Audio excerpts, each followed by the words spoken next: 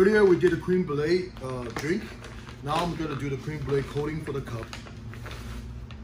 So same thing, cream brulee powder. We use three scoop for maybe one and a half ounce of the water. Okay. Just regular cold water is enough. Just a little bit.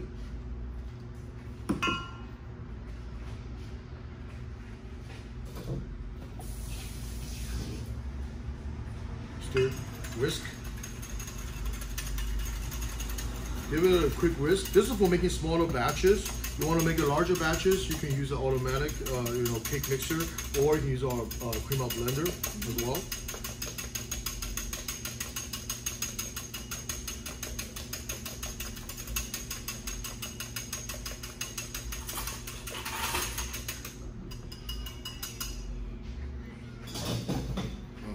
Yeah, so for cups like this, you can pour it in.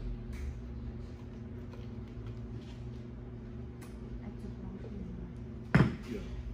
And then you just scoop, just go stir. It's gonna solidify a little bit because I just made it. So just give it a little more.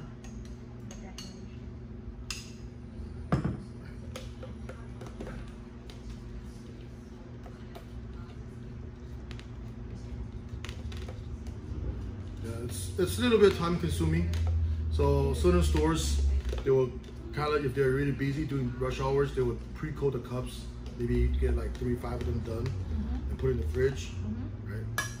Wow. Yeah. And then now you can add drinks to it uh, uh, for look, right? So let's say we do a smoothie that's maybe a red colors or white colors or different color, you get the contrast right there. Yes,